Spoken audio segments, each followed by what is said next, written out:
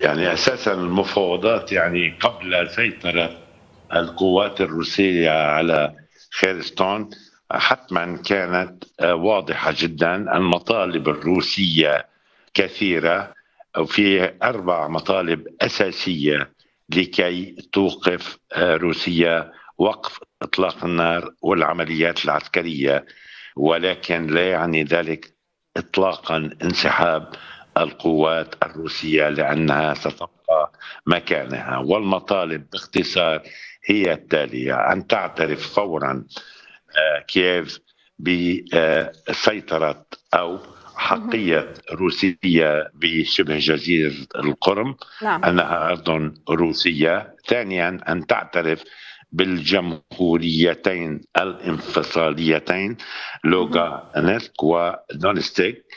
وثانيا يبقى لكل حادث حديث تدريجيا. إنما بعد هذه السيطرة على خيرستون أيضا آه، آه، ما دامت المفاوضات ستجري في ظل العمليات العسكرية ربما غدا آه، ستسقط ماريو بول المركز الأساسي يعني والتقدم واضح والنية الروسية التي قرر الروس تغييرها في الأسبوع الثاني هي تجنب دخول المدن قدر الإمكان كي لا تقع بمستنقع آه، حرب العصابات. يعني لأن كما نعلم دخول المدن من قبل جيش آه، مهما كانت قوته آه، يوقعه بالكثير من الكمائن والخسائر. اليوم روسيا باختصار بكلمتين هدفها الأساسي السيطرة على كل إقليم دونباس. آه آه وسيبقى آه ك كبفر زون يعني أو منطقة عازلة للمفاوضة بشأنه. هذا محسوم.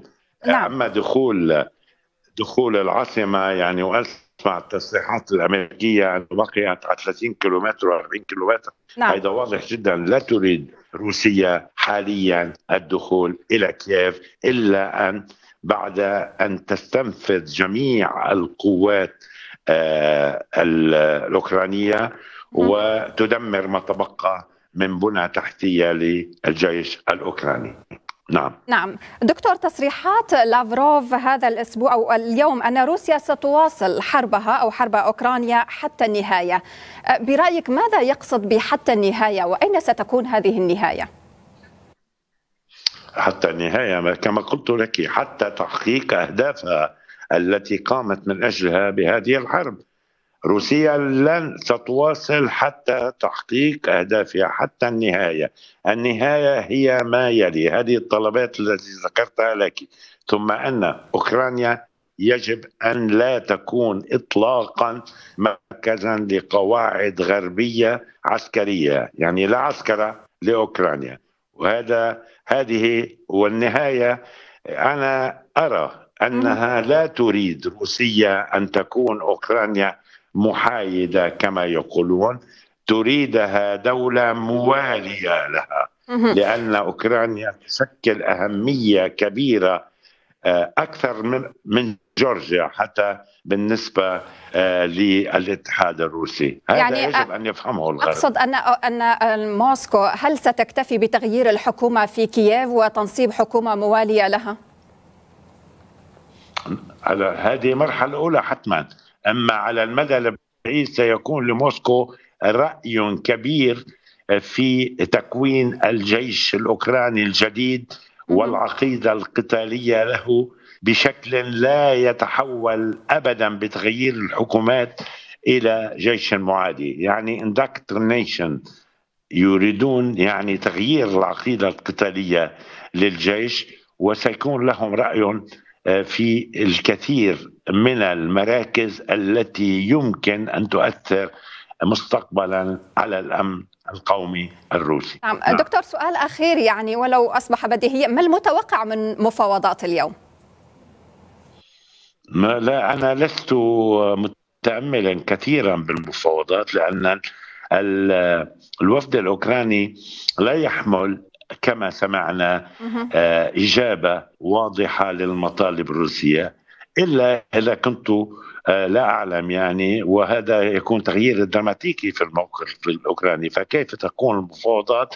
ونسمع في نفس الوقت تصريحات الرئيس الأوكراني بتجديد القتال ومتطوعين وحث الناس على على حمل السلاح. وسمعنا أيضا من بريطانيا متطوعين وجهاديين.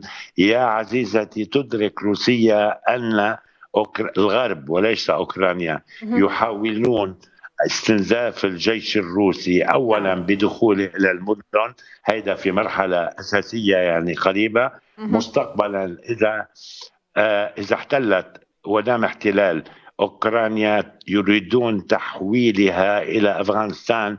جديدة كما كانت أيام الجيش السوفيتي حيث انهزم. هذا الواقع وهذا الاستقراء تدركه روسيا آه، جيدا ولن تقع به نعم. دكتور نعم. نعم شكرا جزيلا. الدكتور هشام جابر مدير مركز الشرق الأوسط للدراسات والأبحاث كنت معنا من بيروت. شكرا.